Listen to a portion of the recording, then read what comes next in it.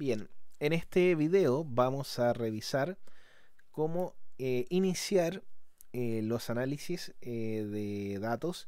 Y una de las primeras cosas que hay que hacer en el análisis de datos es precisamente el filtrado de los datos atípicos en lo que es la población. Y esos datos pueden ser porque hay un personaje o una persona que efectivamente tiene un valor muy extremo y muy diferente a la población como por ejemplo si tengo una población que son personas sedentarias y dentro de la población aparece un maratonista o un ciclista o un triatleta y mide un parámetro como el consumo de oxígeno y voy a tener un valor que está muy por fuera de lo que es eh, la norma de la población.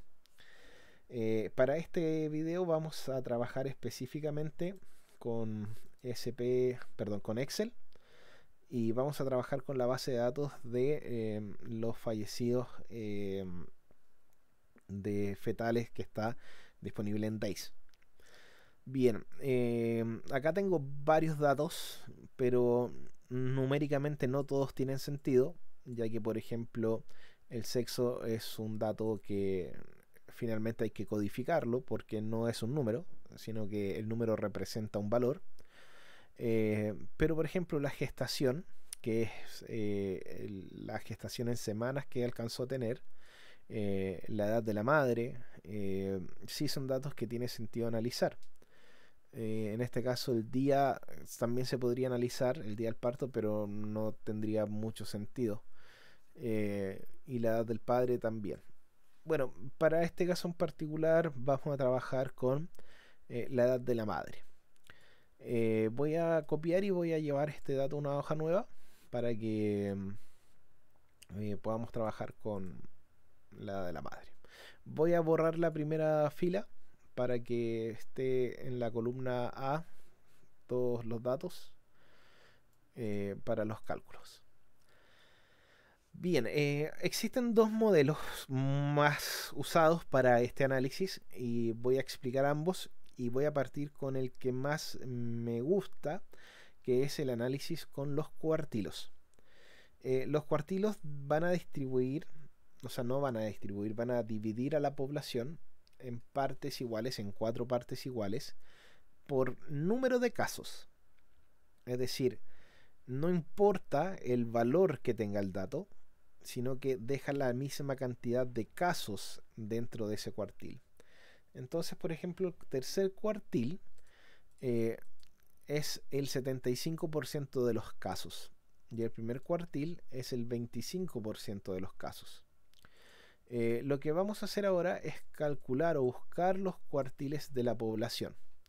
Voy a agrandar los datos para que se vean bien.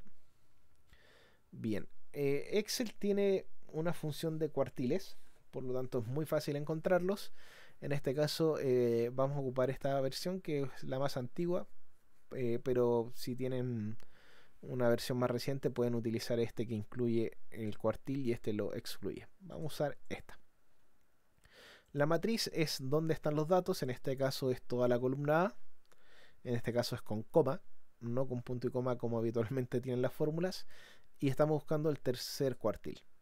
Entonces aquí me va a buscar el tercer cuartil de esta población.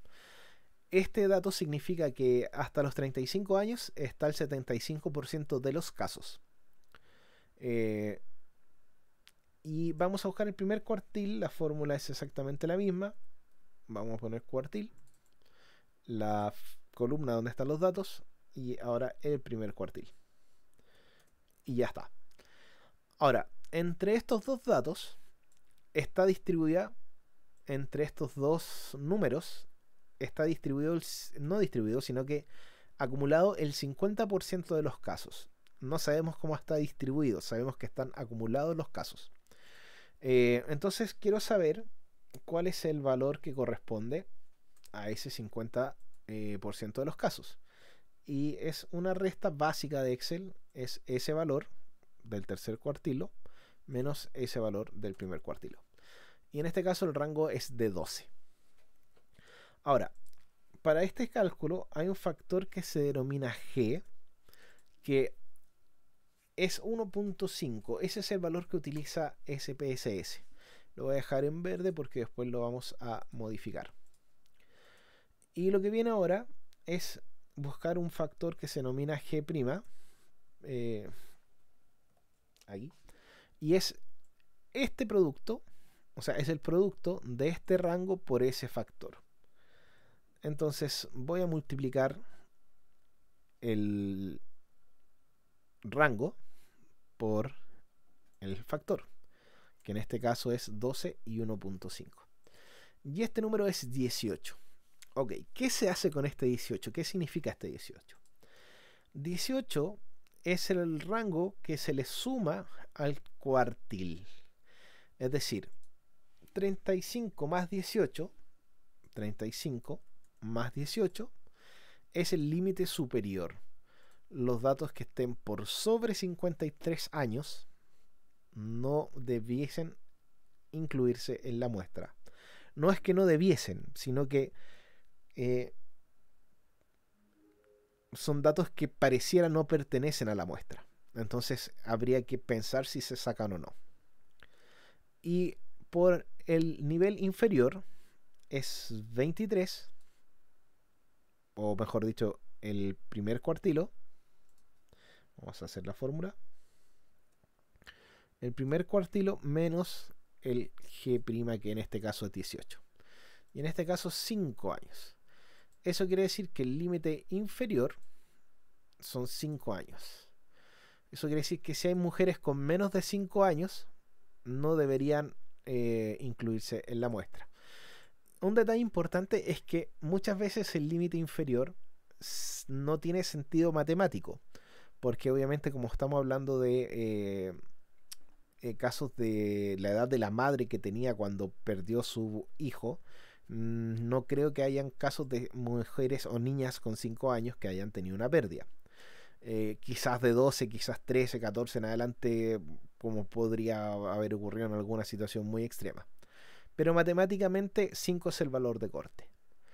Y 53 para arriba. Eh, veamos si hay casos así. Los vamos a ordenar en primer lugar de menor a mayor. Y no. De hecho, efectivamente hay niñas de 13 años. Tres niñas tuvieron pérdida con 13 años en el 2015. Y 5 em, eh, con 14 y 15. Y ahí sigue la lista. Vamos a ver por arriba o por los valores altos, 99. Se subentiende que no había mujeres de 99 años, sino que son datos que están intencionalmente puestos así para que eh, se pongan como un dato perdido. Y el valor más alto real es 48. Y el límite de corte era 53.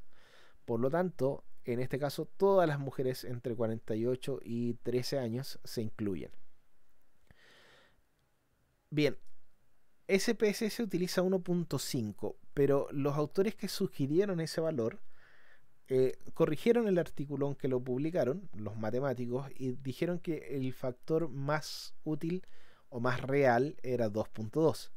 Por lo tanto, si lo corregimos a 2.2, eh, el valor superior es 61 y el valor inferior es menos 3.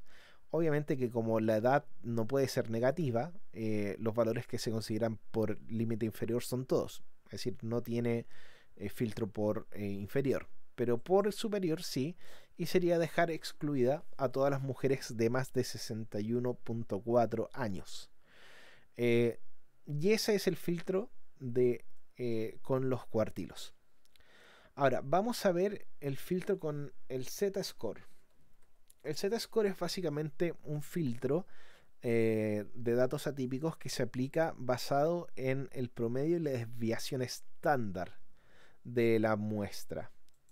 Y para eso hay que calcular la media, que vale decir es lo mismo que el promedio, y la desviación estándar, que SD por la sigla en inglés. Para calcular el promedio es igual a una fórmula muy simple de nuevo, que es el promedio, y que selecciono toda la columna para que me calcule el promedio de todos los datos. Si tienen menos datos, obviamente eh, seleccionan solo los datos que necesiten en el formato que, necesiten. En este caso está seleccionado toda la columna A, Entonces acá estoy cambiando si tengo que filtrar eso, etc. Eh, a, a toda la columna. Esa es la media.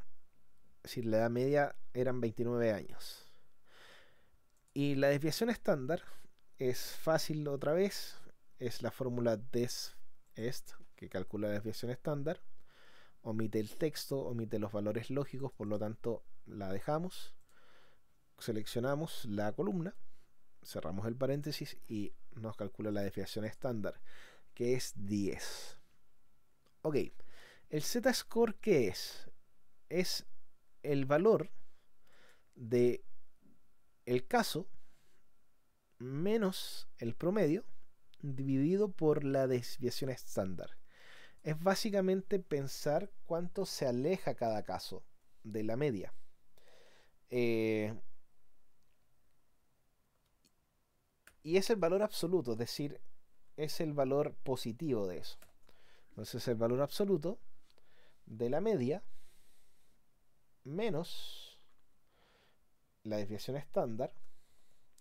Y todo esto que estoy escribiendo acá va a estar dividido por... Eh, perdón. Es una... Vamos a hacer una corrección. Es la media menos el promedio. Perdón, que hacer una corrección mayor aún es el valor absoluto del caso menos el promedio, ahora sí, dividido todo eso por la desviación estándar. Ahí sí. Disculpen el traspié. Entonces ahora sí es el caso menos el promedio dividido de la desviación estándar y es con el valor absoluto. Eso nos va a dar el Z-score, por lo tanto voy a calcular el Z-score para cada caso. ¿Cómo lo hago? Fórmula igual el caso eh, es el valor absoluto y la vamos a hacer bien de inmediato. Valor absoluto se escribe abs, abro paréntesis, de el caso menos la media o el promedio cierro paréntesis, dividido la desviación estándar. Y eso me va a dar el z-score de este valor. Antes de seguir, vamos a decir dos cosas importantes. El z-score es un dato atípico si el valor es mayor que 3. Se considera atípico. Por lo tanto, el 99 es a todas luces un dato atípico. Eh, bien, lo otro es que si yo desplazo esta fórmula, va a salir un error. ¿Por qué? Cuando yo tipeo esta fórmula, está considerando estas dos columnas. Y si reviso esta celda, está considerando dos celdas que están sin datos. Y eso es porque cuando arrastro va desplazando el valor de estas casillas. Y estas casillas tienen que estar fijas en la columna y en la fila. Esta fila no se tiene que mover. Y en la columna tampoco, porque este dato está solo acá. Para fijar ese dato, lo que hay que hacer es lo siguiente. A1, que es el dato del caso, sí se tiene que mover. E7 no. Y para eso hay que tipear el signo peso antes de la fila y antes de la columna. O bien posicionarme en el dato y apretar F4 y me da distintas opciones. Acá está bloqueada la columna y la fila. Acá está bloqueada solo la fila. Y acá está bloqueada solo la columna. Voy a dejar bloqueadas las dos. Ahora sí, cuando deslice esta fórmula hasta el fondo, eh, vamos a tener eh, el z-score de todos los casos. Acá. Y ahora lo que hay que hacer es obviamente ordenar el z-score por la edad.